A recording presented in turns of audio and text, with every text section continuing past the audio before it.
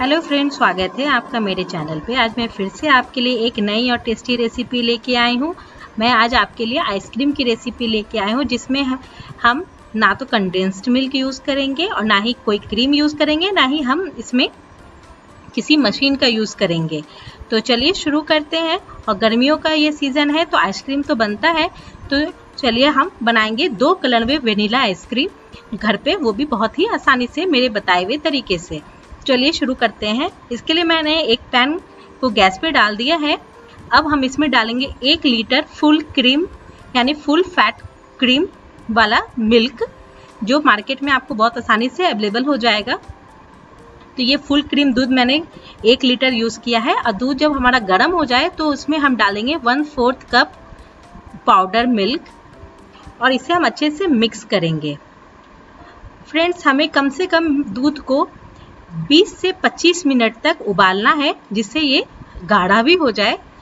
अब हम इसमें डाल देंगे वन फोर्थ कप चीनी। और फ्रेंड्स, इतना कुछ डालने के बाद हम दूध को कम से कम 20 से 25 मिनट तक उबालेंगे, जिससे ये बहुत अच्छे से गाढ़ा हो जाएगा। तो आइसक्रीम आपका बहुत ही अच्छा बन के तैयार होगा। तो हम थोड़ा चलाते रहेंगे और बीच साइड साइड में जो क्रीम हमारा लग जाता है, उसे निकालते हुए हम इसे गाढ़ा करेंगे। जब तक वो गाढ़ा हो रहा है तब तक हम यहाँ अलग तैयारी करेंगे। उसमें मैंने दो चम्मच कॉर्नफ्लोर ले लिया है। मैंने दो चम्मच कॉर्नफ्लोर लिया है। उसमें हम थोड़ा सा दूध डाल के इसे अच्छे से मिक्स कर लेंगे। इसमें कोई लम्स नहीं होना चाहिए। इस बात का आपको ध्यान रखना है। तो मैंने मिक्स कर लिया और आप देख सकते हैं, दूध बहुत हद तक मेरा गाढ़ा हो गया है। मैंने 20 से 25 मिनट तक इसे लो फ्लेम पे उबाला था। अब हम इसमें जो कॉर्नफ्लोर मैंने घोल के रखा था, उसे हम धीरे धीरे करके डाल देंगे ताकि इसमें कोई लम्स ना पड़े। इस बात का ध्यान रखना है, इसलिए थोड़ा तेज़ी से आप इसे हिला लें और जब तक दूध आपका गाढ़ा ना होना लगे, तब तक आप इसे लगातार चलाते रहें। और आप देख सकते हैं हमारा दूध अब गाढ़ा होने लगा है और साइड साइड की सारी मलाई भी निकाल दें और ये आपका दूध आपको गाढ़ा सा दिख रहा होगा। और अब हम किसी अलग बाउल में निकाल के इसे ठंडा कर लेंगे। जब ये ठंडा हो जाए पूरी तरीके से, तब हम इसे मिक्स कर लेंगे। मिक्स करने के लिए आपको जो भी सुटेबल लगे, आप वो ले सकते हैं। मैंने मिक्सर का यूज़ किया है। अब हम इसमें डाल देंगे वेलीला एसेंस एक छोटा चम्मच। डाल के अब हम इसे जल्दी जल्दी मिक्स करेंगे, ताकि ये पूरा लाइट हो जाए और हल्का हो जाए।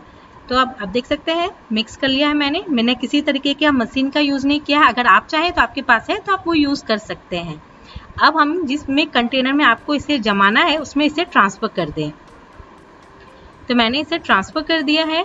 अब हम बंद करके फ्रीज़र में इसे एक घंटे के लिए रख देंगे। एक घंटा हो गया है। अब मैंने फ्रीजर से इसे निकाल लिया है। अब फिर से हम इसे बाउल में ट्रांसफ़र करेंगे। और अब हम फिर से इसे मिक्स करेंगे। फिर पहले की तरह ही इसे लाइट करना है हमें।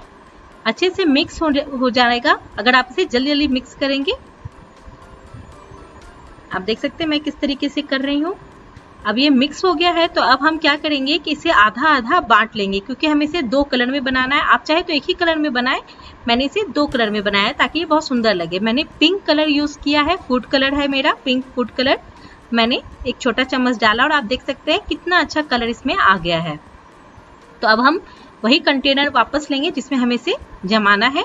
उसमें मैंने थोड़ा वाइट वेनीला वाला फ्लेवर डाला, उसके ऊपर अब हम पिंक डाल देंगे। एक साथ ना डालें, नहीं तो ये पूरा ही पिंक हो जाएगा। आप देख सकते हैं किस तरीके से मैंने डाला, थोड़ा ऊपर से डाला। आप देखिए, ध्यान से कि मैं किस तरीके से डाल रही हूँ ताकि ये पूरा कलर पिंक ही ना हो जाए। इसलिए थोड़ा घुमा घुमा के नंबर एट की तरह अगर आप लिख के डालेंगे, तब भी ये बहुत अच्छे से ये हो जाएगा। आप देख सकते हैं।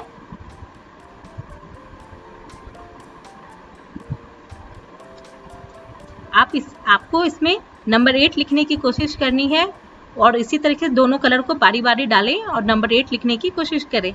इससे आपका बहुत ही अच्छा कलर आप देखेंगे। आप देख सकते हैं कि मैंने किस तरीके का बनाया है आइसक्रीम। उसमें दोनों कलर कितना मिक्स होके आया है। कितना अच्छा आ रहा है। अगर पूरा पिंक नहीं नहीं चाहते हैं तो आपको इसी तरीके से बारी बारी से आपको डालना है दोनों। आपको पूरा बैटर इसी तरीके से इसमें डाल दें। ये फ्रेंड्स बहुत आसान है, बहुत ज़्यादा मुश्किल नहीं है। आप ट्राई करेंगे तो फ़र्स्ट बार में ही आपसे बहुत ही अच्छे से ये हो जाएगा। आप इसे एक बार ज़रूर बनाएँ। दो कलर में ये बहुत ही सुंदर भी दिखता है। आज सर्व करने में भी आपको बहुत अच्छा लगेगा। और बच्चे अभी घर पे हैं, गर्मियाँ भी चल रही है तो आपको इन्हें बना के उन्हें दे सकते हैं। तो मैंने आप सारा ही यूज़ कर लिया है, आप देख सकते हैं।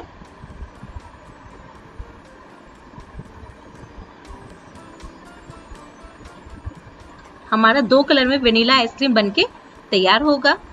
तो फ्रेंड्स अब हमारा हो गया है तो अब हम क्या करेंगे इसे बंद करके फ्रीज़र में रात भर के लिए या फिर जब तक ये अच्छे से जम ना जाए, तब तक के लिए हम इसे फ्रीज़र में रख के छोड़ देंगे और इसे ये रात भर में ही अच्छे से जम के तैयार हो जाएगी।